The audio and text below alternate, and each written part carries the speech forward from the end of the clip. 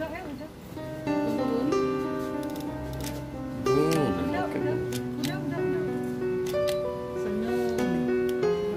tersangka ini ditangkap oleh kita tadi subuh jam sekitar jam 2.30 di rumah tersangka.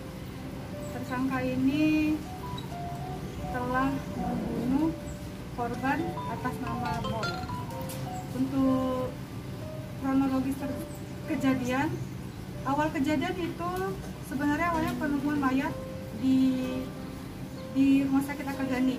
Jadi Rumah Sakit Akagani itu melaporkan ke piket reskrim di Polres Tabes dan akhirnya piket reskrim Polres Tabes mengirimkan piket piket reskrim IB1 untuk mengecek eh, mayat tersebut.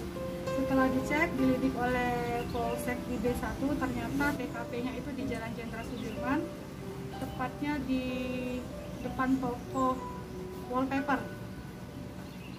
Terus setelah dapat TKP-nya di sana, akhirnya diselidikin oleh tim pusat kita dan kita berhasil menangkap tersangka tadi subuh dalam waktu kurang lebih dua kali 24 jam. Motif pembunuhan ibu? Motifnya ini sakit hati karena omongan.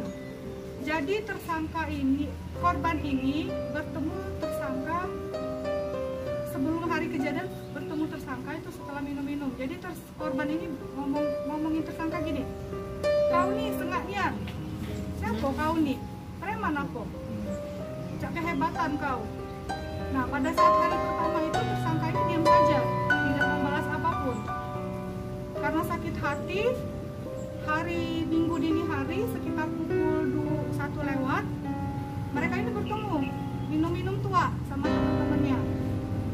minum-minum tua melihat oh ini orang yang ngomong. Kemarin ini orang yang ngomong. Jadi masih ada dendam. Karena dia orang yang ngomong ini si apa si boy ini boy ini orang yang ngomong akhirnya si tersangka ini mengambil pisau yang memang sudah biasa dibawa oleh oleh tersangka untuk melindungi diri. Karena kan tersangka ini kebetulan seorang tukang parkir.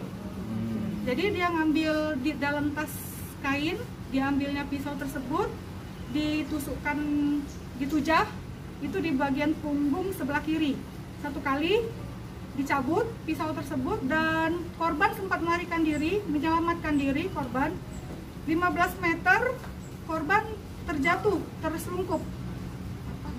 Terselungkup ya? Tersungkur. nah tersungkur. Tengkurap posisi tengkurap jatuh. Tersangka lari. Korban dibawa oleh masyarakat ke rumah sakit Akagani jadi intinya gara-gara omongan saja sakit hati terhadap korban. Kan ini buruh harian ya buruh harian. Jadi dia banyak apa dia pengamen juga buruh harian juga. Jadi banyak ya Luka tusuk atau sampai depan belakang ya? enggak ya saat dari sini sampai sini sebelah kiri ya. Bu pasal yang dikenakan Bu? itu pasar 340 3, 338 dan 351 ayat 3 dengan ancaman hukuman itu minimal 20 tahun penjara maksimal itu seumur hidup nah,